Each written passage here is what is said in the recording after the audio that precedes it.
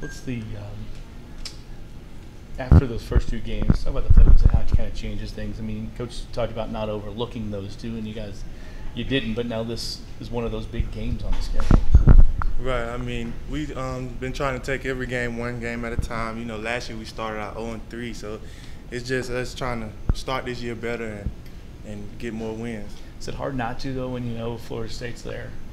I mean, of course it's hard, but at the same time, like I said, we started out 0 3, so it's like you, you don't want to start that year the same way, and that left a bad taste in our mouth from last year. So it, it made us focus more on each game and be more detailed. What have you seen with their offense with Francois being the guy at the trigger this year?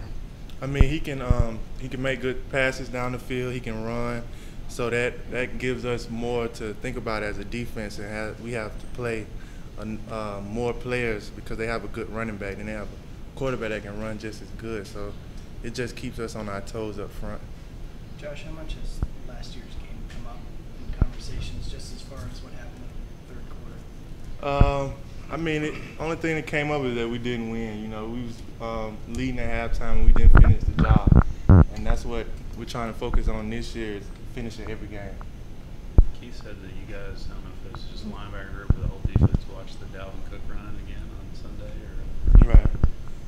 remember what that was like, or how what the coaches said that time. Uh, I mean, it was a, a play where we missed a lot of tackles, and you know, it was a great run by him.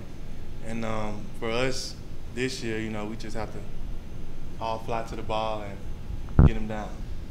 The hype around this game is the game day, setting up everything out here. I mean, how, how fun is this for you guys? I mean, this is why you come come to these programs to play these type of games.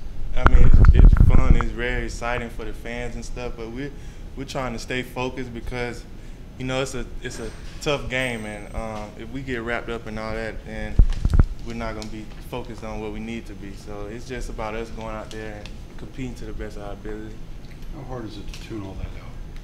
It's very hard because you know it's the first time that uh, college game day is here, and the city's really excited about it. The school is really excited about it. Um, but for us, we just have to stay focused. For you, how how hard is it to stay focused on where you have to? I mean, you're moving around so many different places. Mm-hmm. How hard was it to learn what you need to do to be to be successful out there this year? Uh, I don't think it was that hard because we have great coaches that um, did a good job of breaking it down to me and um, making it a lot easier. And um, I've been in this defense a couple of years now, so it's it's really just knowing where to line up, basically. Josh, how do you think it'll affect you guys to have uh, D out for the first half? Um, D, he he's a great player, and I know he can play a lot of positions. But we also have like um, Cannon, Zach Cannon. He can play both safeties. Chuck can play both safeties. So I just feel like um, with the depth that we have, we, we won't miss too much. But um, as good as he is, we need him out there. Would, uh, what did you, how did you reflect on your performance against Florida State last year, your individual? Um, me personally, I didn't think I played um, that well, and that's for me to um, correct this year and try to have, go out there and try to have a better game.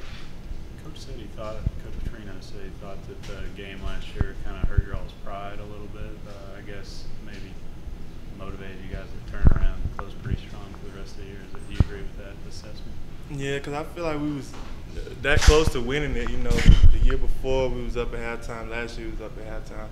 So it's really just about us finishing the whole game and playing the second half just how we came out the first half. That one Dalvin run, how much, uh, how many times did you all see it on Sports Center the next week, or you know whatever? Just I mean, how many times did, and what was that like? If it got replayed a bunch of times? I mean, it's it was crazy because it was it was a bad play for us, but you know we had to learn from it, and um, we've seen it a lot across Sports Center and stuff. But that's what happens when players make plays. So it's up to us this year to stop them.